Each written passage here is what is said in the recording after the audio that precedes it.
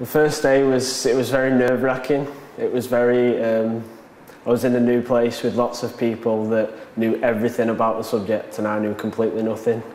The biggest challenge has probably been getting to grips with the subject area because it's so abstract to what I'm used to. It's nothing like college. It's not like the textbooks. There is no textbooks for it really. It's the frontier of science, and it's some, you're working on something that no one else has done before.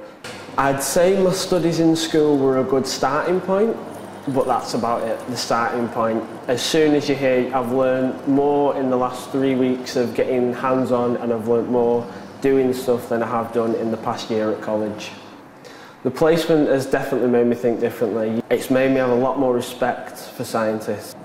your teachers at college or your school will know all about the Nuffield. It's a very well-established organisation and they will know about this scheme and the work experience that they can do.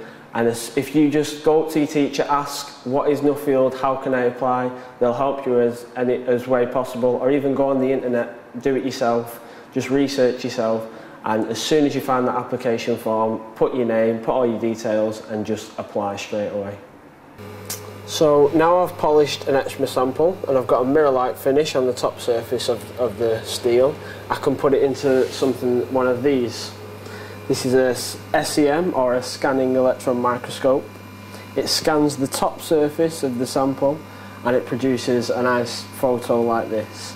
This actual photo is from the same sample I was polishing before and it's at the very ridge of the weld. I'd say if you're thinking of applying for a Nuffield placement, and you've got a little bit of doubt in your mind, go for it. There is nothing like it. It's unparalleled, and the experience I've had just over these past few weeks has been nothing. It's beyond my wildest imagination. It's been better than I could have could have imagined. So I'd definitely say go for it. Don't let anything hold you back.